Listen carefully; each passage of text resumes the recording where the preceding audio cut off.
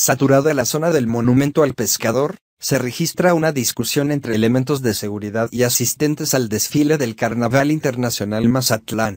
Minutos antes de iniciar el primer desfile del Carnaval Internacional de Mazatlán, Alebrijes y Dragones, se registró una discusión entre elementos de seguridad, que apoyan al Instituto de Cultura, Turismo y Arte de Mazatlán a resguardar la zona de peligro por donde van a pasar los carros alegóricos y personas que quieren mantenerse en ese lugar.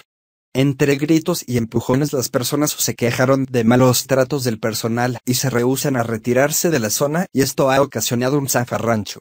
Previo al desfile, el alcalde de Mazatlán, Fernando Pucheta realizó un recorrido por la Avenida del Mar y señaló que hay alrededor de 450 mil personas. Lo que ha generado verdaderos zafaranchos, poniendo en peligro a familias enteras.